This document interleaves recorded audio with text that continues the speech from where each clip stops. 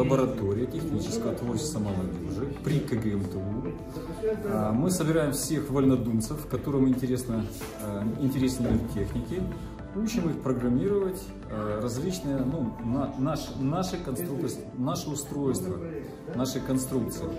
Вот, они все достаточно несложные, я так полагаю, но мы их рассматриваем как прототип каких-то устройств, которые могут работать на других планетах, которые могут работать на производстве. Вот. И стараемся ребят э, приучить э, думать, размышлять, придумывать, фантазировать, как, как уже кон конструкторы различных устройств. Конечно, нам больше всего космос интересен, вот, потому что космос это, это круто. Проект, который ребята сейчас делают, там двое наши, э, Марк и Слава, ученики 19 школы. Этот проект мы задумали как э, ситуацию, ну, скажем так, на Марсе, э, когда есть два устройства, и они должны двигаться по пересеченной местности без использования жесткой сцепки. Это как бы просто, но технически и запрограммировать достаточно непросто. Там возникает масса всяких технических моментов, которые нужно а, понять, проанализировать, рассчитать, вот, а, обойти сложности. Ну, в общем, тут начинается поле для, для деятельности конструк конструктора. Нам вот это интересно. Вот. И Анатолий Владимирович, который самый главный конструктор у нас, вот, он очень классный инженер и, в общем-то, во всем этом разбирается здорово. Вот он у нас как бы главный такой конструкторский мозг, который позволяет все это, все это сделать. Ну и я ему помогаю в этой части. Мы так рассчитываем, что класс 5-6 можно начинать. Тут много вещей, которые ребята, в принципе, школе не проходят. Касается математики физики. Ребята, которые с нами занимались и поступили, э, уже не ушли и поступили в СВНТУ, в Севастопольский наш университет, э, они сказали, мы вот это все проходим на первом курсе. А ребята, которые, мы сталкиваемся с этим, э, это 5-6 класс, не все выдерживают, но в принципе мы как бы стараемся э, говорить, хочешь научиться, мы тебя научим. Но ты должен приложить силы, воли, и все что угодно, не упираться, не сдаваться и так далее. Многие уходят, но вот кто остался, тот остался.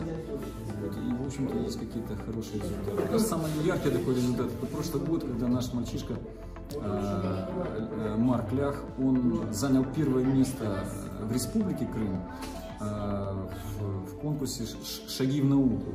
Это было первое место, он получил хороший приз, поездка в Сочи, в Сириус.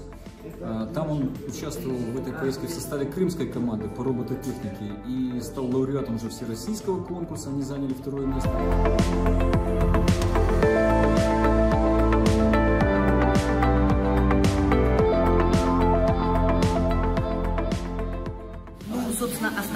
концепции является э, не жесткая сцепка э, между машинами. Одна машина является таким проводником, который прокладывает маршрут между в общем, по местности, а другая машина за ней следует, принимая сигналы о поворотах, изгибах, может быть, э, о пути в общем. Это сделано для того, чтобы если у нас есть ценный груз на второй машине, если первая машина застрянет, то мы хотя бы поймем, по какому пути не нужно следовать, и при этом ценный груз у нас останется. Это возможно даже использовать где-то на Земле, а возможно для колонизации других планет, например, ближайших для нас Марс. В основном мы идем вперед, и, к примеру, э, если смотреть на проект, который, который я, к примеру, делал в прошлом году, это уже совсем новый. То есть на роботехнике вот здесь мне нравится то, что каждый год ты получаешь какие-то новые здания, ты можешь реализовывать новые проекты, которые ты бы вообще даже не мог представить себе в прошлом году. Хватает ли у вас времени заниматься? Э, да, вполне. Мы как бы кооперируемся. Э, здесь занимаемся, нам помогает Сергей Васильевич, Анатолий Владимирович. Э, а по субботам мы собираемся, чтобы обсудить какие-то интересные, возникшие, может быть, проблемы, интересные моменты и так далее. А бывает так, что вы дома чем-то занимаетесь, спите, и вдруг приходит идея, и надо ей бы срочно поделиться? Да, кстати, такое бывает. У меня, я, например, товарищ, если у меня реализации проекта, я сразу же ему пишу в соцсетях, такие как Telegram и другие. А, к слову об идее. Собственно, идея на нежесткой сцепке и вообще, собственно, программе э, возникла из шутки. Э, дело в том, что существуют датчики черной линии, как вы уже могли убедиться. И мы, я решил пошутить, что, э, мол, вторая машинка может воспринимать первую как линию.